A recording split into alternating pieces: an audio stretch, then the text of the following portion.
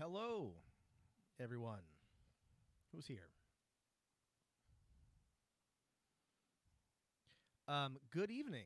Um, I hope everybody is having a good time um, here in Portland. It's an absolutely miserable, gross, uh, disgusting, disgusting uh, evening, uh, which makes it a great time to talk about the Pinkertons. Uh, I'm super, super excited about this talk. I have a lot to say about the Pinkertons. There's a lot of things going on here, and I hope that uh, you will uh, enjoy it as well. Oh, good morning, Rakar of Oz from Australia.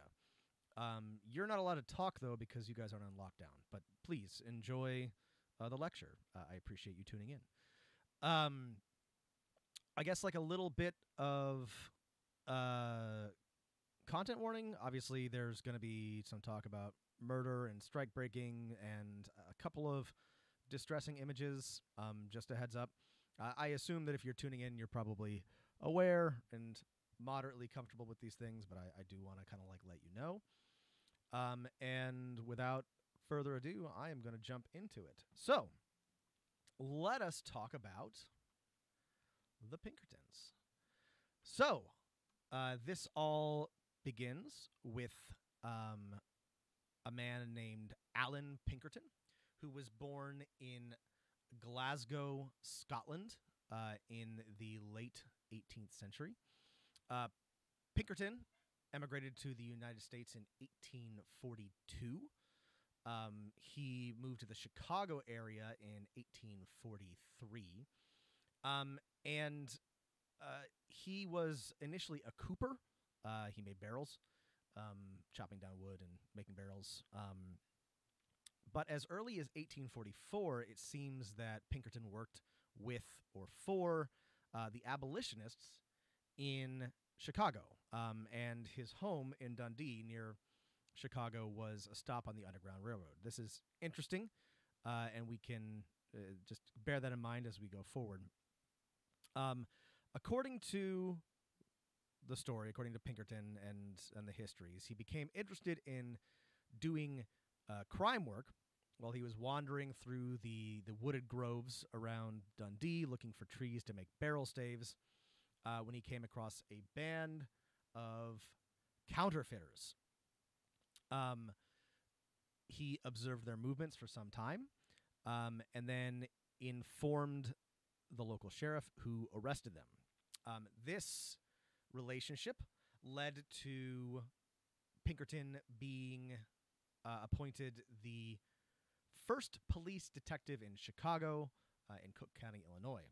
Um, he arrived at pretty much the perfect time for this. Uh, the population in cities in the United States was booming, especially in places like Chicago, and American mayors uh, aldermen, city councils, uh, people of importance uh, had a lot of new problems, and they needed, uh, well, they thought they needed professional police forces to help them keep order. Um, if you were around for my talk on uh, modern or the origins of policing, you might remember that these were not. Not exactly America's finest. Um, many, including Chicago's, were inefficient. Uh, they were plagued with um, the same, same corruption that affected many other parts of the American government during this sort of golden age of spoils. Um, many politicians viewed their new police forces as just another tool for patronage or grift. Uh, they were also underfunded a lot uh, because this was a age of rolling bank and stock market crises, and there was usually one uh, catastrophe after, after another.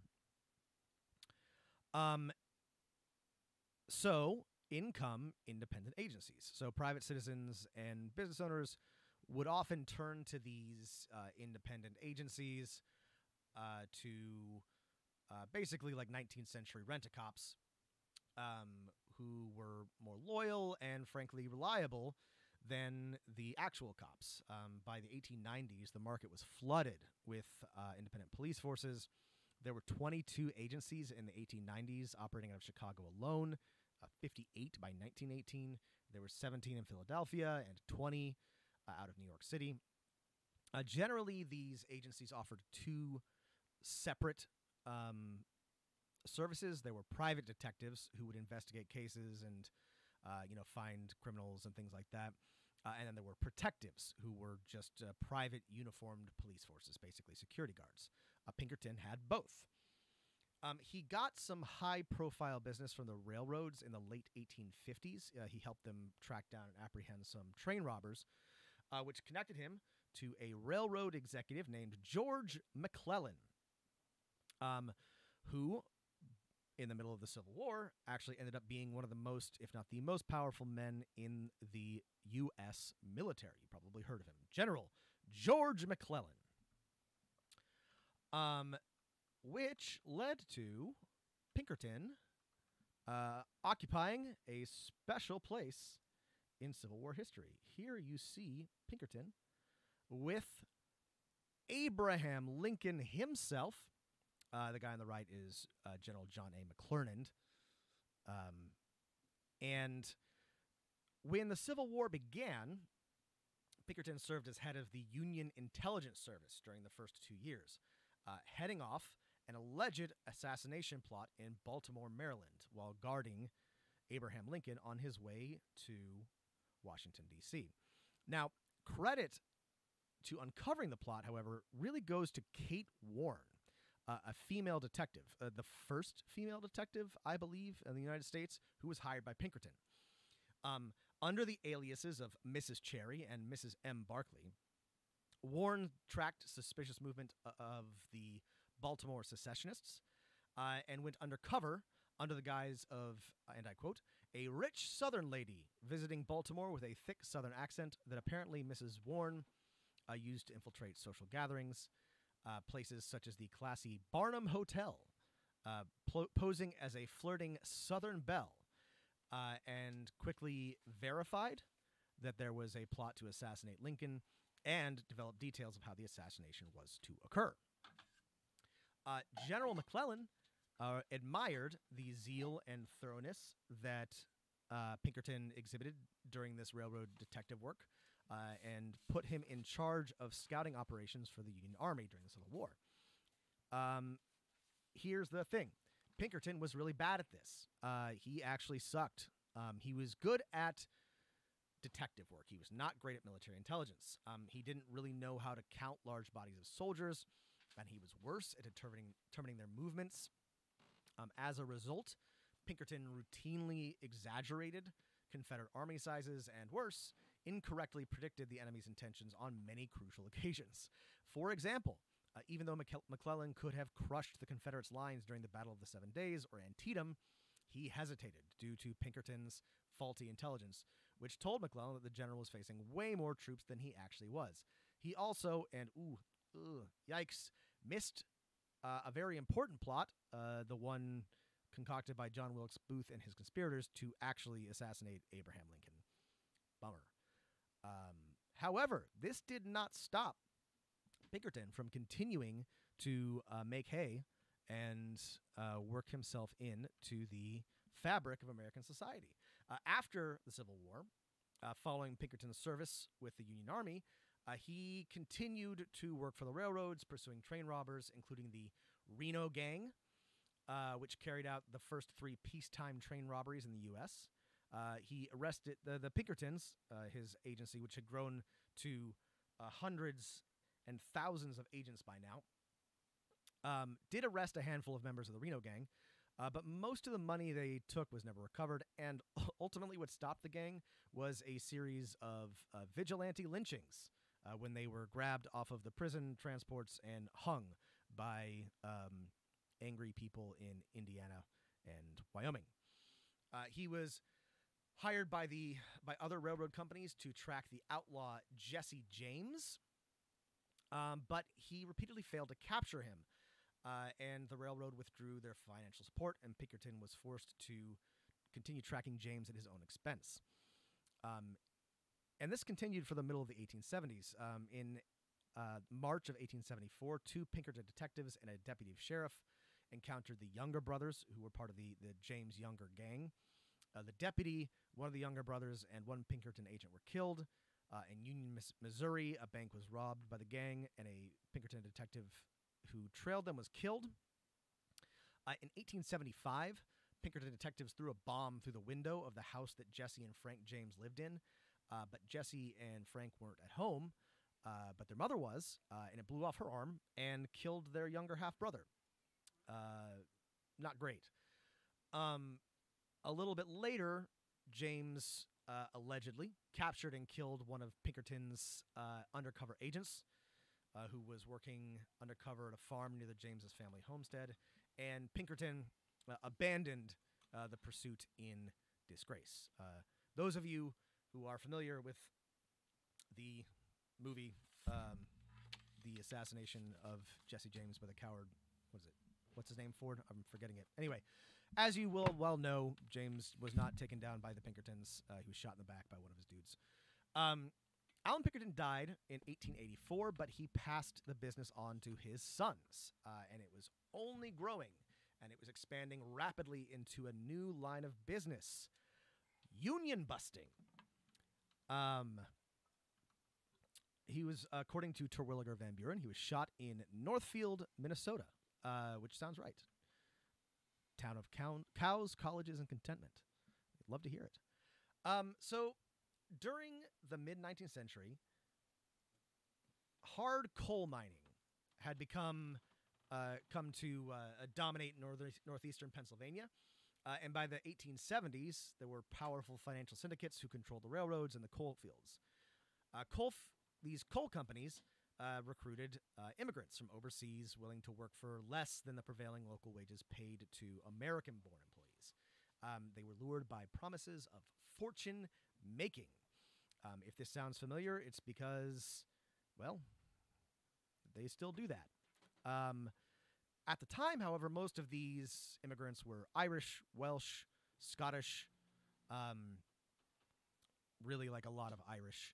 Um, and in the mid 1870s, there were around 22,000 coal miners working in Schuylkill County, Pennsylvania.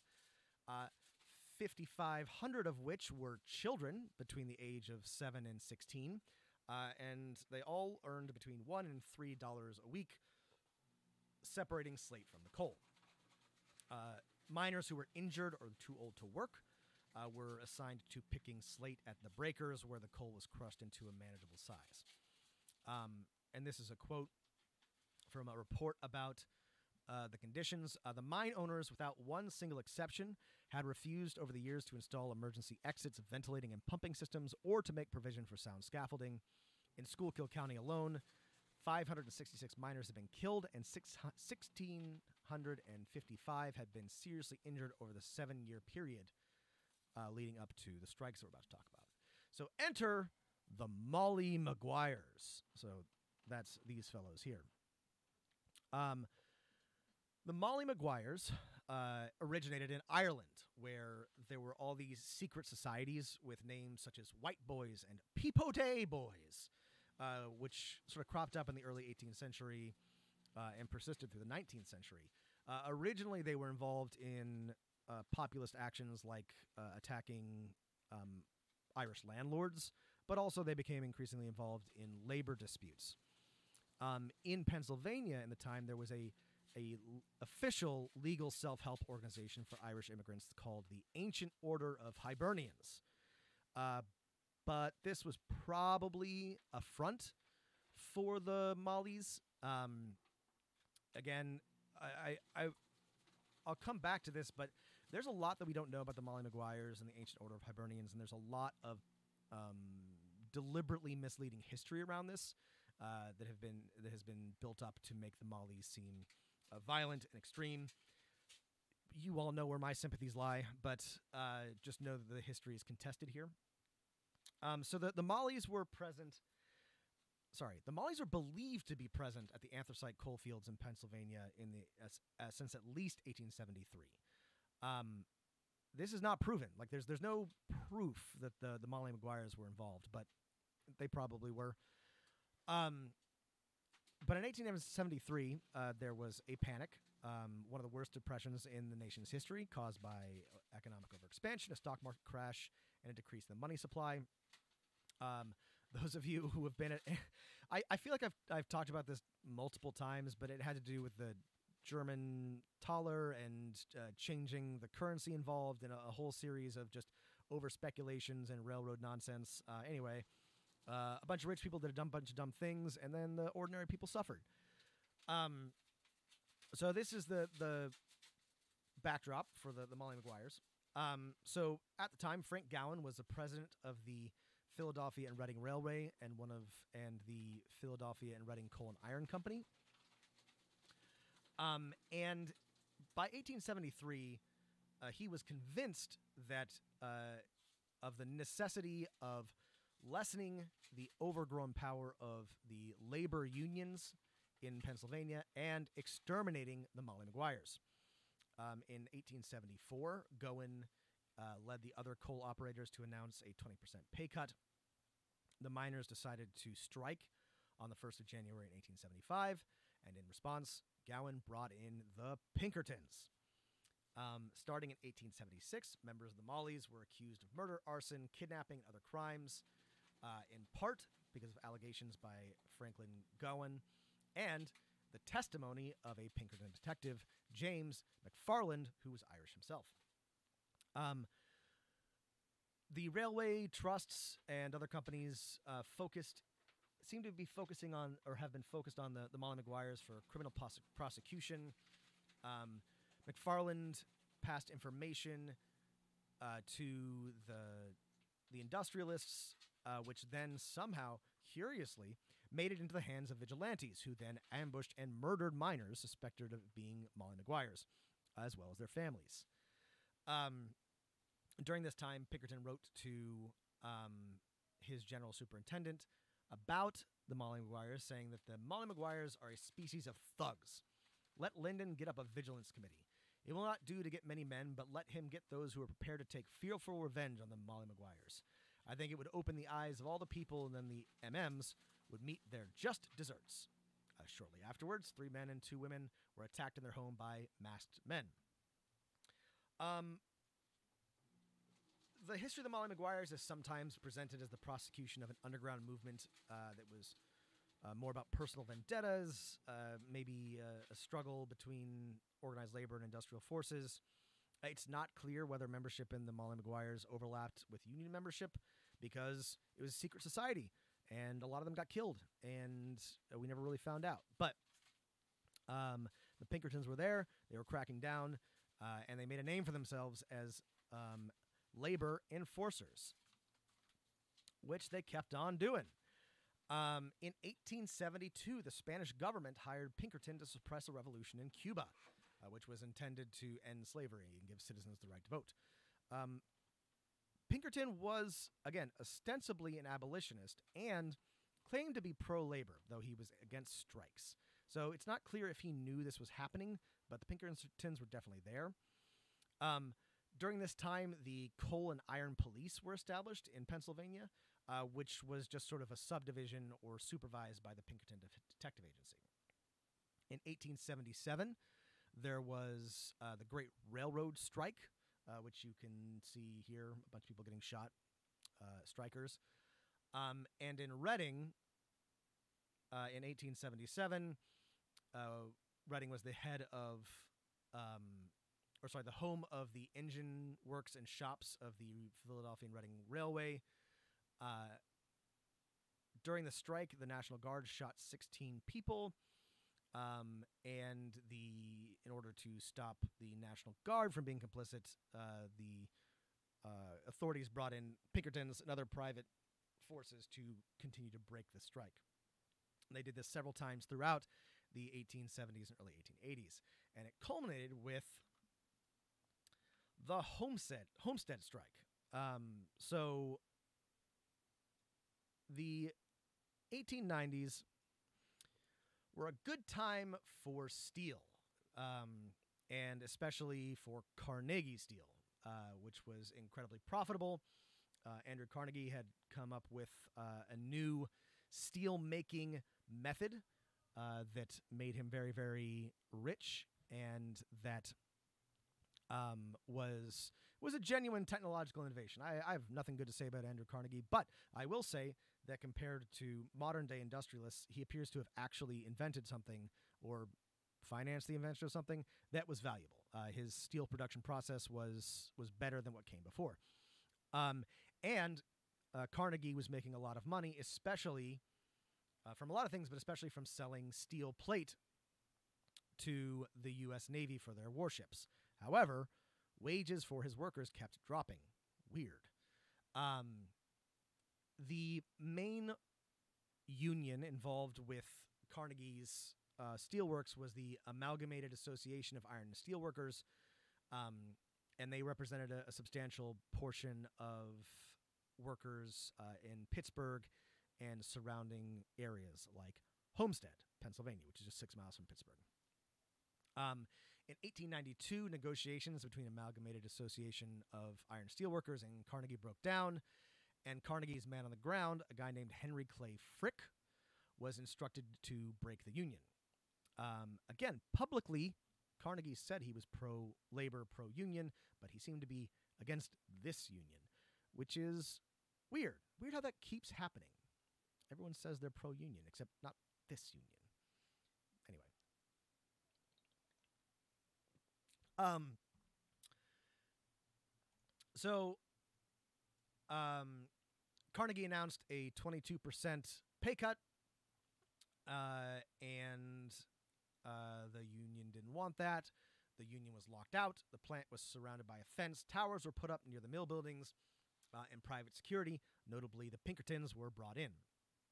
Uh, the strike committee issued a declaration which said the employees in the mill of uh, Misters Carnegie, Phipps, and Company at Homestead, Pennsylvania, have built there a town with its homes, its school, and its churches, and have for many years been faithful co workers with the company in the business of the mill. They have invested thousands of dollars in their savings in said mill in the expectation of spending their lives in Homestead and of working in the mill during the period of their efficiency. Therefore, the committee desires to express to the public as its firm belief that both the public and the employees aforesaid have equitable rights and interests in the said mill, which cannot be modified or diverted without due process of law. That the employees have the right to continuous employment in said mill during efficiency and good behavior without regard to religious, political, or economic opinions or associations. And that it is against public policy and subversive of the fundamental principles of American liberty that a whole community of workers should be denied employment or suffer any other social detriment on account of membership in a church, a political party, or a trade union. That it is our duty as American cities, citizens to resist by every legal and ordinary means the unconstitutional, anarchic, and revolutionary policy of the Carnegie Company, which seems to evince a contempt for public and private interests and a disdain for the public conscience. So things came to a head uh, in early July in Homestead. Um, Frick intended to open the works with non union men on July 6th. Uh, scabs. Uh, Knox devi- devised a plan to get the um, Pinkertons onto the mill property. Um, since it was surrounded by striking workers, the agents were going to get to the plant um, from the river. So 300 uh, Pinkerton agents uh, assembled on the Ohio River uh, just below Pittsburgh. Um, they were given rifles and placed on two special barges, which were towed upriver by a tug. Uh, they attempted to land under cover of darkness at about around 4 a.m.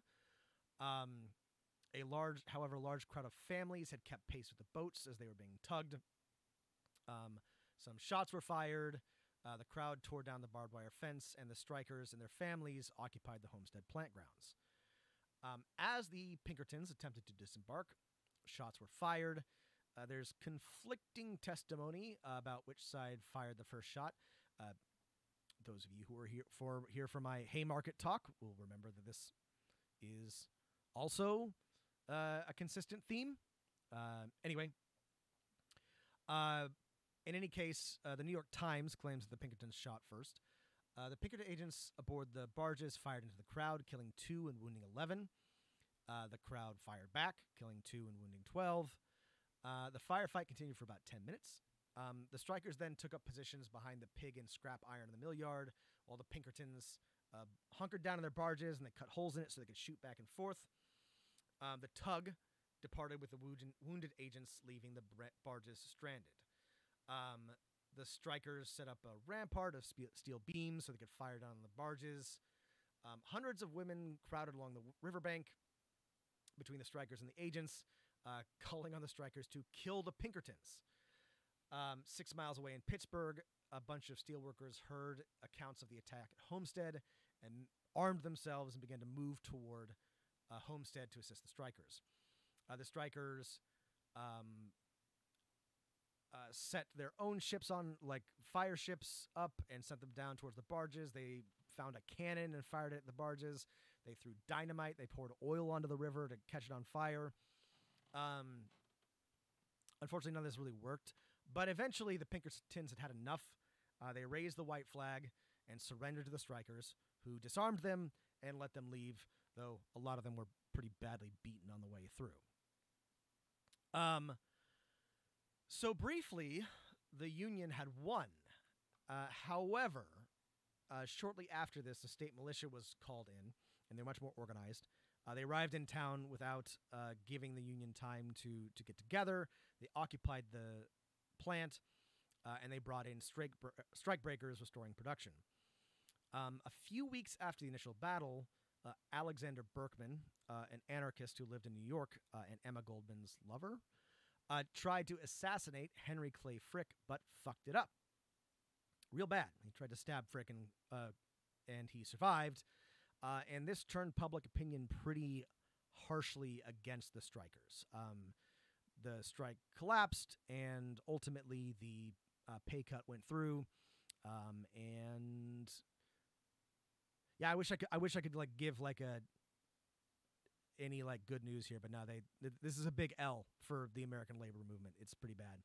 Uh, it's not all bad though, uh, because uh, this was a time when apparently it was still kind of a bad look to murder um, protesters, uh, and so uh, even though the ultimate outcome of the strike was was what you know most of the industrialists and the authorities in the United States wanted, uh, it still didn't look good what the Pinkertons did. So Congress passed the Anti-Pinkerton Act, uh, which in 1893 which limited the government's ability to hire private investigators or, or, mercenaries. And it's right here. It just says an individual employed by the Pinkerton Detective Agency or similar organization may not be employed by the government of the United States or the government of the District of Columbia. Um, pretty straightforward. It was pretty clear. It's even called the Anti Pinkerton Act. Um, however, as I'm sure you're not surprised to hear, that didn't really stop the Pinkertons from continuing to work for the government. Um, they just did so in somewhat more, whoops, I'm getting a little ahead of myself, in a little bit more circumspect ways. Um, the government hired them sort of surreptitiously, uh, and more often they were just brought in by private companies. Um, I wasn't able to find a ton in the way of detail, but the, the Pinkertons were involved in just about every labor dispute for the next 50 years, from the Pullman Porter strike to the Ludlow massacre to the Battle of Blair Mountain. Um, in Ludlow, they worked directly with the National Guard. Uh, agents evicted workers and attacked their camps. Uh, the National Guardsmen set fire to the camp, which included a women's infirmary. Um, 66 people died, uh, many of them women and children. Um, I'm glossing over a ton of stuff. I could spend, I could do a whole lecture on the Molly Maguires, on Ludlow Massacre, on the Homestead Strike, on all of these things. Uh, and I probably will someday. But um, try to focus on the Pinkertons here. It's interesting that they have their fingers in all of this. Um, in any case, when private industry needed unions infiltrated, intimidated, or straight up broken, Pinkertons were their guys. Um, however, it wasn't always smooth sailing for the Pinkertons. Um, this is Ernest D. Lernay, assistant to the president of Tennessee Coal Iron Railroad Company, testifying before the La Follette Civil Liberties Committee, um, which was created after the National Labor Relations Act of 1935, um, which was the last time that the United States gave a shit about labor. Um, in an effort to employ the best suited labor management system between unions and employers, uh, the NLRB uh, was established to sort of like govern these things. And uh, the, one of the first things it did was was put up this committee, um, run by Robert La Follette, a Republican and Progressive Party senator from Wisconsin. Yes, that's right. You heard me correctly. Republican and Progressive Party. Um, maybe some other time I will talk about the political realignment of the parties, but I know you're smart people and can figure it out, but just bear in mind. Um, in the late 1930s and early 1940s, the subcommittee published exhaustive hearings and reports on the use of industrial espionage, private police agencies, strike breaking services, um, arms used in industrial warfare, and uh, employers' associations' attempts to break strikes and disrupt legal union activities. Uh, the committee investigated the li- five largest detective agencies: the Pinkerton National Detective Service, the Williams J. William J. Burns International Detective Agency, the National Corporation Service, the Railway Audit and Inspect- Inspection Company, and the Corporation's Auxiliary Company. Um, every single one of these attempted to burn their records uh, in order to avoid being caught. Uh, however, there was enough put together to uh, to make the report make sense. Um, the committee reported that as late as 1937, uh, its census of working labor spies from 1933 to 1937 totaled 3,871.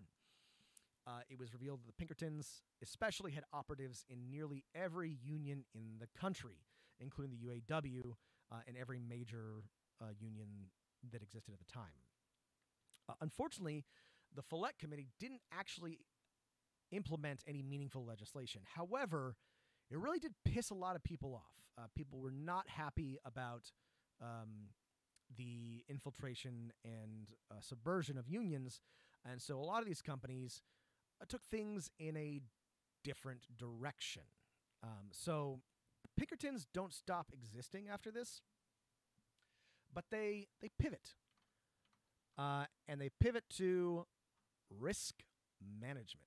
As it turns out, uh, this is uh, the modern uh, Pinkerton website, uh, where they list all sorts of things, uh, and they are all sort of under the aegis of again risk management, corporate liability, um, you know, protecting assets. It's all very vague. Um, the the website also, you know, mentions the history of the Pinkertons, but it it weirdly uh, uh, avoids uh, any of the like more uh, um, unsavory things. Um, they've got a timeline of Pinkerton agency sort of events in history, and there's just sort of nothing at 1892. Um, so they get out of the business theoretically of just union busting, um, and do this for a little while. Um, they um, help corporations evacuate their oh oh yeah they still exist. Don't worry.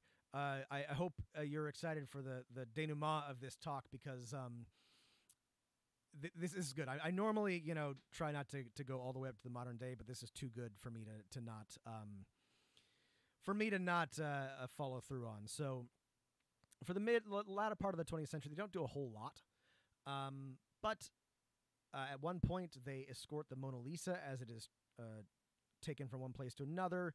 They help uh, evacuate employees from danger zones.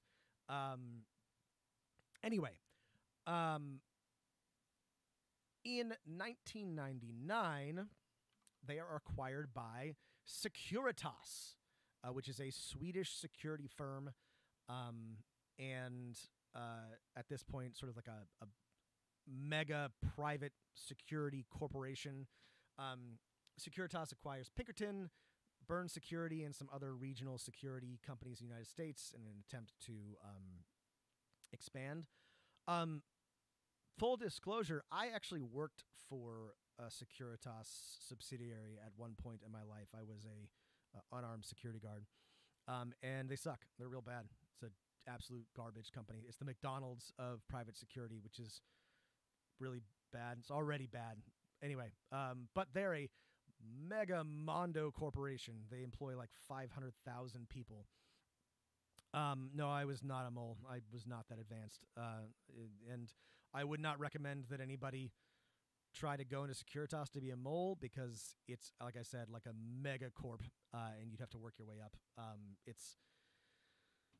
Anyway, um, but they were making a move into the United States. They acquired the Pinkertons, uh, and the uh, it's interesting. They also acquired um, Burns Security, which used to be sort of a, a major rival of of the Pinkertons, uh, to the point where I think they tried to like had actual like gun battles. Um, there's a lot that I haven't been able to talk about. There's just like so much going on with the Pinkertons. Anyway, um, so the Pinkertons still around, still working, um, and they'd like you to believe that they're they're just involved with risk management, whatever that means. But mm, is that really true? No, it's not. It's not really true. They're still at it. Uh, in 2018, The Guardian reported that Google and Facebook have both retained Pinkerton to monitor staff for leaks. Um, among other services, Pinkerton offers to send investigators to coffee shops or restaurants near a company's campus to eavesdrop on employees' conversations. Uh, Pinkerton claims that its agents typically focus on uh, intellectual property theft and insider trading, trading, but it's possible that the firm's reach does not end there. Uh, the Guardian found that several former Pinkerton investigators have been hired by Facebook, Google, and Apple. Um, that same year, Frontier Communications, uh, a telecommunications company in West Virginia, hired Pinkertons uh, during a workers' strike to um, provide security services. Um, in a legal complaint, the Pinkertons complained that the striking workers had abused them. Um, imagine that, like, muscly corgi meme and the sad, weak corgi meme, you know, previous day Pinkertons, modern day Pinkertons. Anyway, um, in October, uh, a man was shot and killed in Denver while counter protesting a Black Lives Matter rally. The shooter, a man named Matthew Dolloff, had been hired by the local news station Denver 7 to provide. Is it not a corgi? What kind of dog is it? Oh, it's a Doge. Sorry. The Doge is a Shiba. Sorry. My bad. Um, hired by the local news station Denver 7 to provide security for its staff members at the protest. Um, I, I'm not saying good things or bad things about uh, the shooting of the protester. Uh, the trial still going on. Just letting you know that the Pinkertons are providing private security for news corporations. Um, in November of this year, uh, an investigation by Vice revealed that they had requ- acquired documents showing that Amazon analysts closely monitor the labor and union organizing activity of their workers throughout Europe, as well as environmentalist and social justice groups on Facebook and Instagram. Um, they also indicate, and an Amazon spokesperson confirms, that Amazon has hired Pinkerton operatives to gather intelligence on warehouse workers. In Poland, in, in a Amazon warehouse facility in Poland, Wrocław, Poland, Wrocław? I don't know. I don't know how to say Polish words. Um, Pinkertons were explicitly sent to infiltrate the union there uh, and find out what they were up to. Now, uh, I'm not saying anything one way or another beyond this about the Pinkertons. Everything that I have told you so far is public knowledge and reported elsewhere. And I am not going to speculate uh, on whatever else the Pinkertons might be doing uh, because they are still a company and I don't want to get sued. I'm just letting you know that I think it's very interesting that the Pinkertons are still out and about and they still appear to be involved in the exact same sort of um, corporate uh, anti-union activity that they were 150 years ago. Um, it's interesting to me, and, and I am just going to sort of waffle here because uh, you know I don't, I don't have like I don't have a particularly like uh, neat bow to put on this. Uh, like Terwilliger Van Buren set up there, they did have kind of a cool start, and like before the union busting, they did a lot of like protecting of railroads and fighting against, you know, Wild West gangs and stuff like that. But truth be told, the thing that made the Pinkertons famous and wealthy and allowed them to be acquired for $400 million by Securitas AB in 1999 was their anti-union activity. That was what really like made a name for them, and they were absolute thugs. Um, you know, a lot of the Pinkertons who were at Homestead didn't even know what they were doing. Uh, they'd been, you know, deputized and handed badges, and uh, basically the same day. Uh, and the Pinkertons, um, they would take just about anybody uh, in the, the 19th century, anybody willing to uh, to work for them. They were not an elite detective force. They were often a bunch of jackbooted thugs. Um, so I guess like more broadly, it's kind of interesting that um,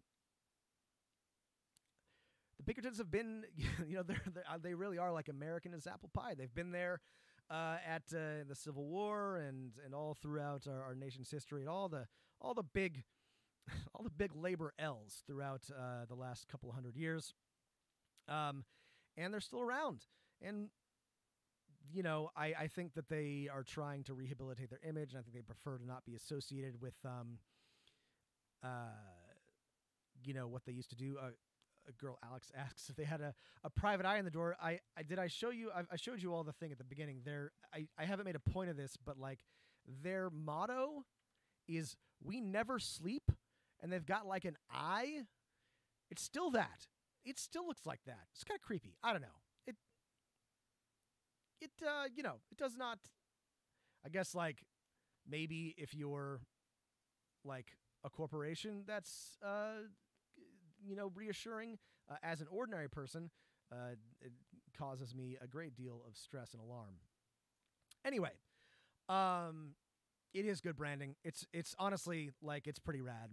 Um, so yeah, um, I, I feel like they're they've been in the news like more often in the last few years than they used to be. I think they were really trying to um, shake their reputation, but uh, I guess a leopard can't change its spots. Uh, old can't teach an old dog new tricks. Pinkerton's got um, one core competency, and that's union busting. Uh, so yeah, so thanks everybody for tuning in. I hope the new time was not too uh, disorienting. I- am thinking about doing it this time of day so that um, anybody who wants to like tune in and then uh, go out once we're able to do that again I will be able to, and also so I can. I don't know. Seven was weird for dinner. Um. So anyway, thanks for tuning in. This was fun. Um. Everything that I said is reported elsewhere, and um, if I said anything that was libel, then imagine that I said alleged before it. Um, and if any Pinkertons are listening, I'm sure you're all very cool guys. Don't do don't come after me.